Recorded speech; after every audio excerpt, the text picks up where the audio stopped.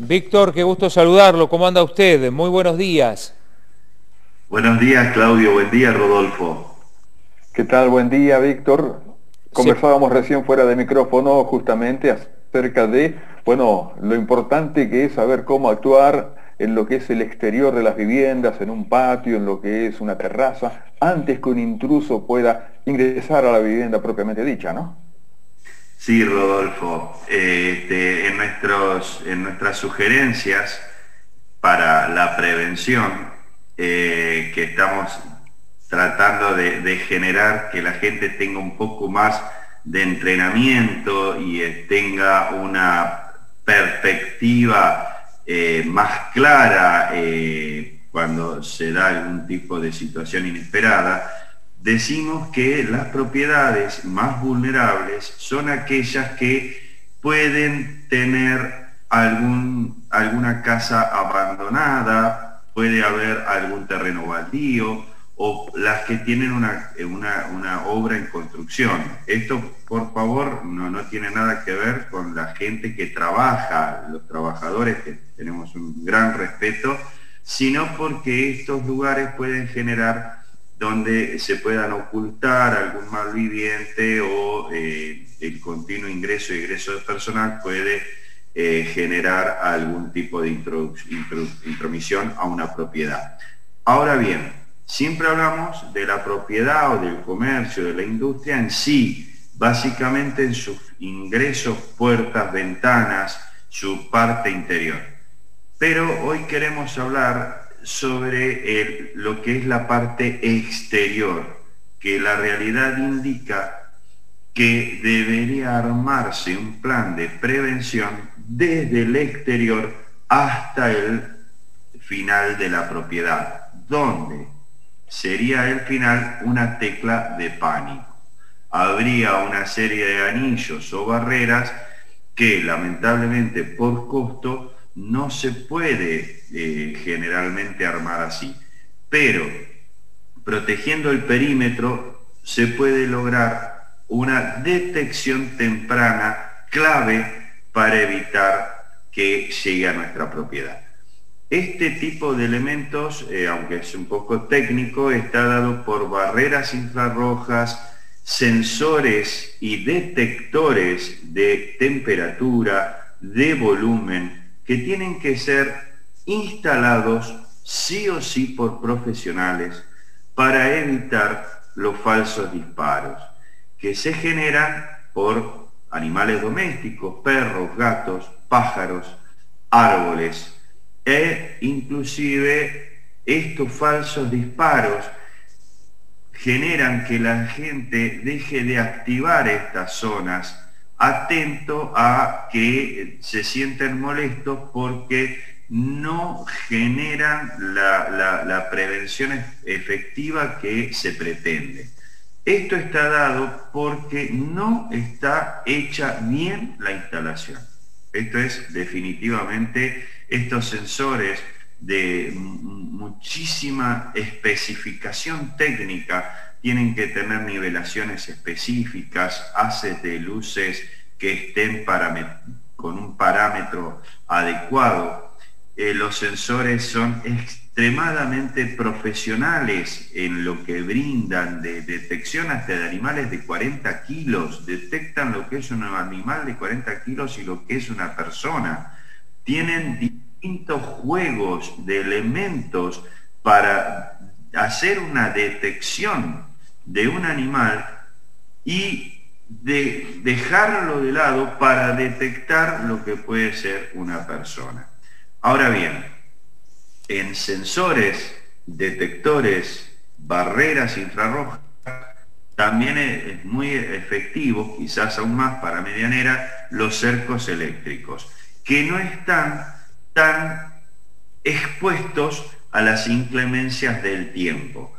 También en los perímetros es muy eh, viable el uso de luces, luces, cualquiera sean estas, que puedan tener un encendido manual, que puedan tener un encendido por célula fotoeléctrica, siempre, siempre es muy útil para los perímetros, los patios, las terrazas, las playas de estacionamiento y sobre todo que la empresa que realice estas instalaciones, vuelvo a decir, sean empresas habilitadas, con profesionales habilitados.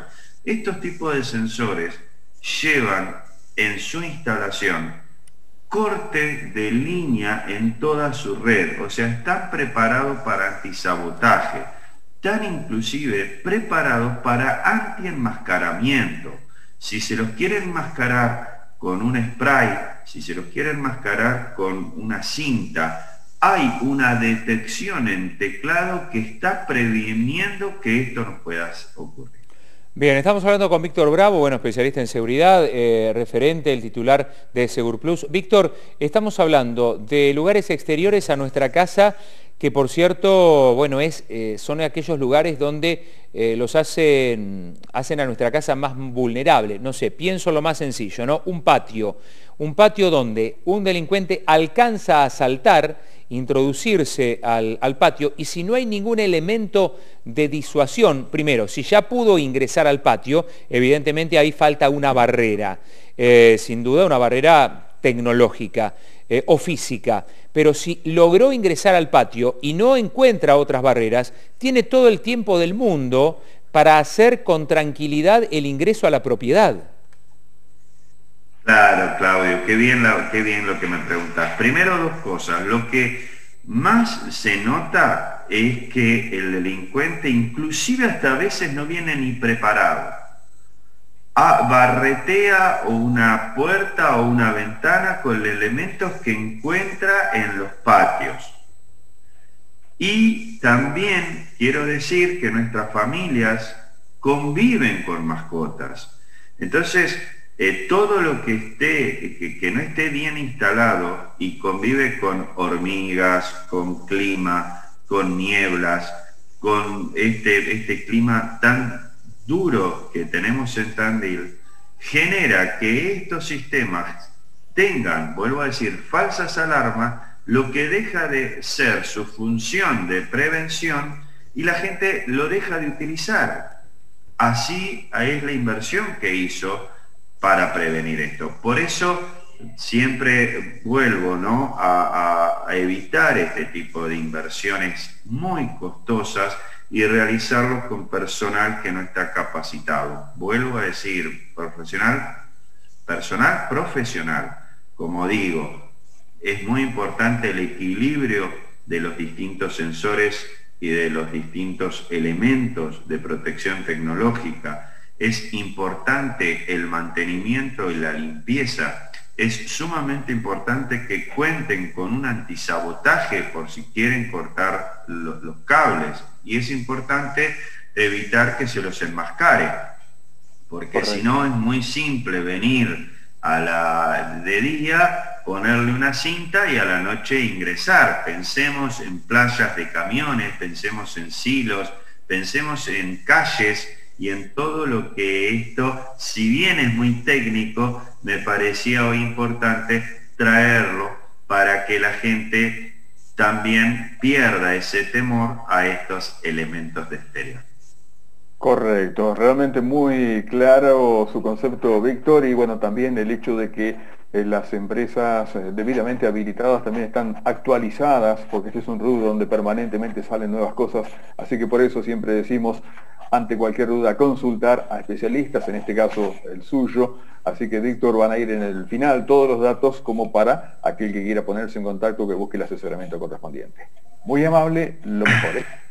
Gracias, Rodolfo, y siempre estamos para cualquier tipo de información que podamos brindar en nuestra empresa. Muy bien. Muy bien. Muchas gracias. Un abrazo, Víctor. Víctor Bravo. ¿eh? Eh, aquí, como decía Rodolfo, van todos los datos para ubicarlo. ¿eh? todos los datos para ubicarlo a Víctor Bravo. Y ahora voy a ir con algo que nos dice Manuel Martens, que también es cierto y tiene que ver con esto. Pero cerremos primero. Presentó Segur Plus. Mañana es tarde. Hoy Segur Plus, alarmas para propiedades, comercios, industrias, cámaras con video verificación, cercos energizados en ciudad y campo. Segur Plus, Arana 448, teléfono 444 0310.